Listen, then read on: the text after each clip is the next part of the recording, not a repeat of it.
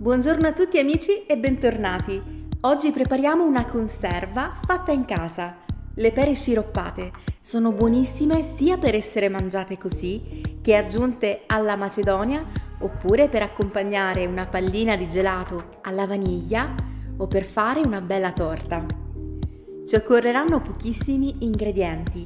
2 kg di pere.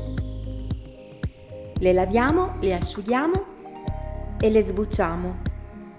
E naturalmente le priviamo dei semi.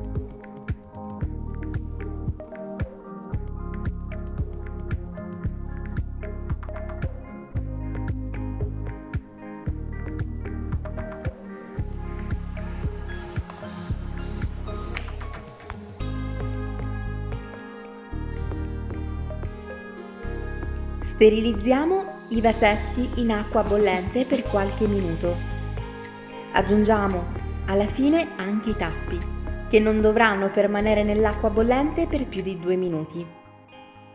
Quindi li scoliamo, fate molta attenzione a non bruciarvi e li disponiamo su un canovaccio pulito.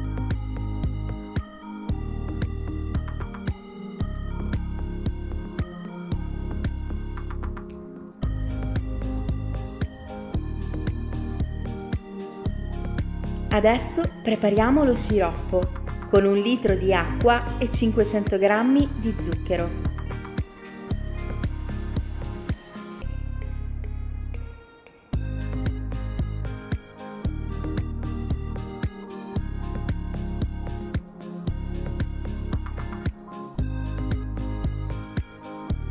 Adesso possiamo riempire i nostri vasetti con le pere.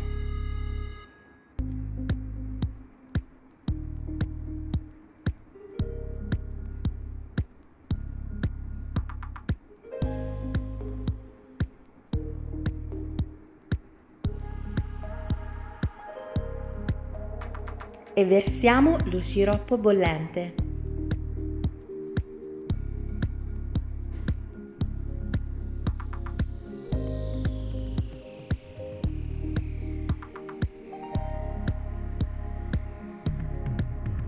Chiudiamo quindi con il tappo e mettiamo a sterilizzare i vasetti per almeno 15-20 minuti. Dopodiché chiudiamo il fuoco e lasciamo raffreddare completamente all'interno della pentola.